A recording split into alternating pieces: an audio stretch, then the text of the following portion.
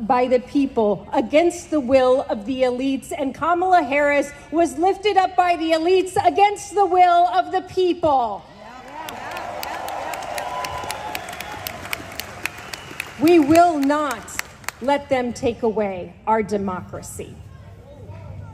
The only people trying to shirk the system here are the Democrats.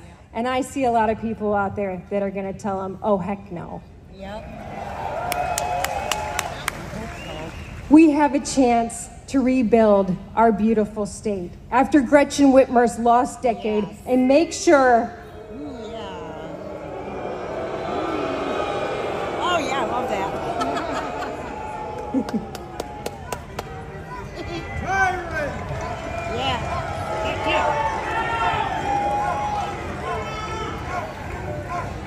we'll do it together. We will make sure Michigan again is a leader in innovation in manufacturing in this country. in two years, when we have the chance to properly serve and lead the state of Michigan, we're going to need a friend and a leader in Washington to help us. So, folks, the choice is clear. For Michigan, for America, and for the future, we need to make Michigan great again. We need to make America great again. And we need to go out there and vote for Donald J. Trump.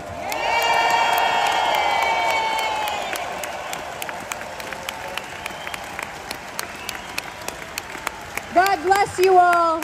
God bless the state of Michigan. And